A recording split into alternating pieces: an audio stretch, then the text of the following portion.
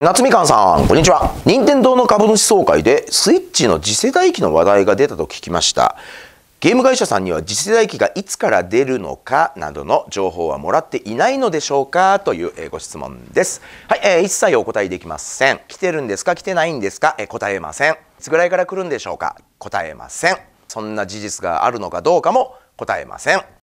えー、答えられないと、え、いうことです。まあ、我々はね、え、機密保持契約っていうものを結んでますので、え、それらに、え、類するものには、え、一切、え、答えられませんという返答しか、え、できませんので本当に、え、まああの聞きたくなる気持ちは分かります。分かりますがこの類の質問に答えられる、え、業界の人間は一人もいないんじゃないかなと、え、思います。あしからずでございます。では